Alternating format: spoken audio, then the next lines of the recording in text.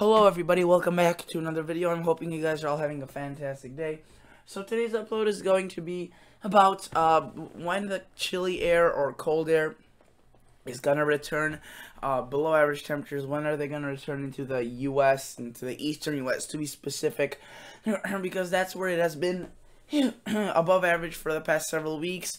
And uh, it's been very dry. Many locations have been wanting the cool air. Many locations have been uh, or many people I should rather say many locations are you know witnessing and experiencing warm temperatures.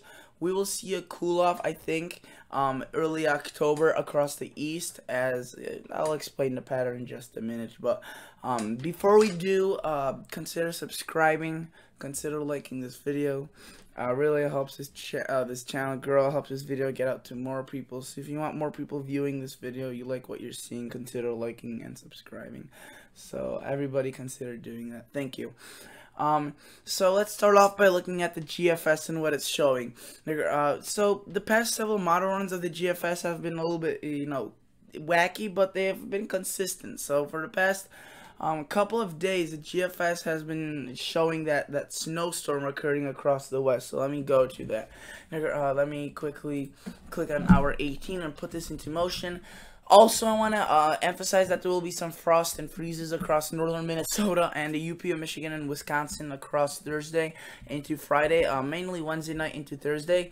Uh, that is due to a a blast of chillier air to come into the Midwest, and that will cool things off quite drastically. Again, prompting some flash or free, freeze warnings. Again, probably Saturday, similar thing. Uh, be, you know, this cold air will get down fairly far to the south, actually. Uh, a little bit further south than it would on a typical September 28th day uh, on any given year.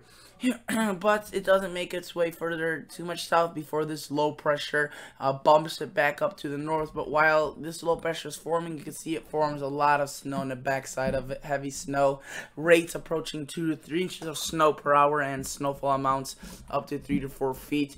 Um, the Dakotas mainly stay snow free. Um, uh, this is mainly a Montana, Idaho, and Wyoming event and uh, notice how that kind of dissipates into the east, brings snow to uh, into Saskatchewan and Manitoba as well. But then uh, uh, there's kind of like this, you can see uh, this kind of this pattern starts setting up, and uh, almost like a cold front occurs. You can see right there, uh, it uh, starts developing right there. Probably some heavy rain across these areas. Would have to monitor right, for like flooding. But notice how after that, the, the GFS advertises a, a a good a good a good area of chillier air, and you can see that uh, actually the 32 degree line, which is theoretically uh, the the 540 thickness line. It theoretically is uh, where the 32 degree uh, freezing freezing point is, and you can see it stretches down all the way into the Midwest, parts of northern Indiana, parts of northern Ohio, Pennsylvania, uh, eastern, northwestern New York, I should rather say, uh, into parts of northeast Minnesota, Wisconsin, and northern Illinois. You could all be seeing their frost according to this um, next week, Friday. So um, the model runs have been pretty consistent with this. That's the other thing. This isn't just one model run showing this. Uh, they have there have been mm, uh, there have been some you know rather uh, agreeing signs for this. And then afterwards you notice how there's uh, it gets the cold air tries making its way again into the US but gets kind of pushed back by the storm. But then after the storm uh, passes through you can see heavy snow across this would be uh, across Manitoba and Saskatchewan and uh, Ontario very heavy snow, heavy snowfall rates, and uh, very heavy rain to the south. And notice how we could probably be seeing another chill behind us. So the chilly air, I think, will make its way down into the U.S. So don't be, you know, don't be too impatient. I would say a week left of these very warm temperatures, consistently warm temperatures, because in between these cool periods, we will still see some warmer uh, times. So let's look at the 2 meter temperature anomaly and give you a a more example of what's going on. So uh, right now, as you can see, uh, quite a bit of warm air, uh, actually a lot of warm air. But then uh, notice how th there's a little bit of below average temperatures. That kind of prompts a little bit of, of, of freeze warnings and freeze watches for Minnesota, North Dakota. I'm almost you know confident at this point that they will issue those. Uh, we'll see though. They'll probably get issued tomorrow at midday, or uh, they're probably already talking about it in the long range discussions for those areas. I'll, I'll have to check it after this video. But notice how it gets very warm out ahead of this storm uh, anomalies are 20 to 25, 15 to 20, I should rather say, degrees above average. But then on a flip side of this, look at the northwest. I mean, very chilly. The northwest is, you know, they may be looking at this video title and being like, oh, we already have the cold air. We don't really you know, we're not really waiting for it. Yeah, because that's where it's going to originate from. It's going to kind of start out there and push its way towards the east and south as we go on into the longer range.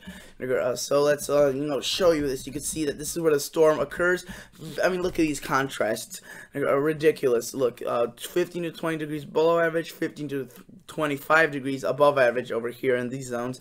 70s, 80s across these areas. This is Monday, September the 30th. So uh, next Monday, and you can see this would just be going on for quite some time.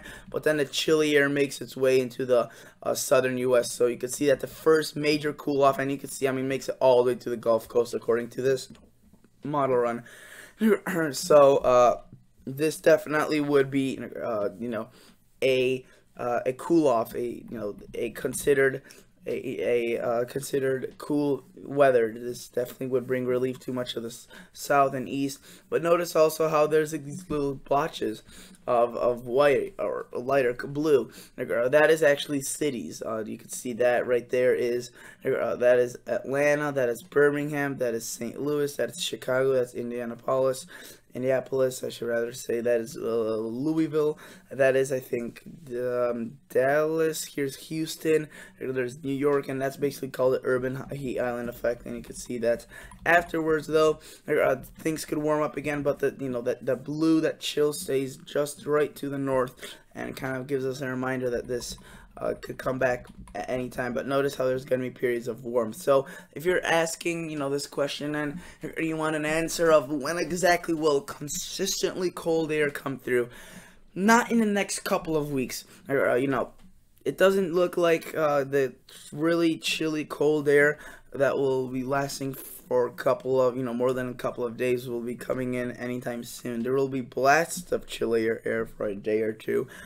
Then a brief warm up and then there could be another cool off, you know, kind of like a jumping in between these two. So at this point, the cool air, yes, it will make its way into the south and east U.S., but, um, uh, you know, for a temporary time and not necessarily uh, for as long as you you know you may want because many I mean many folks are complaining about the very warm temperatures going on in the south and the extreme humidity that is coming in from the Atlantic Ocean with all these tropical disturbances riding um, passing through.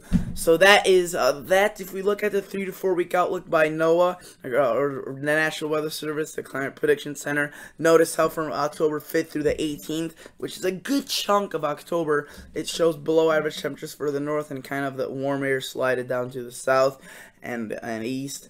Uh, but uh, this is, you know, this is experimental kind of, and uh, you can see that the precip also is kind of overlapping with that blue, so that could mean some more snow for those areas in the north, uh, northern Minnesota, North Dakota, South Dakota, maybe even uh, Iowa, you know, some snow showers possibly across that time frame. We're getting into that time of the year where the first snows will start occurring more and more exponentially as already some have started to occur. So uh, I wanted to now show you some of the the European model in terms of what it's showing um, in its 500 millibar potential height. And notice how for Thursday it brings in a pretty good chunk of chillier air into the U.S. September 26th, definitely prompting some freeze warnings or frost, frost advisories. And look, the contrasts become way amplified as the a big chill happens in the west with this uh with this low diving down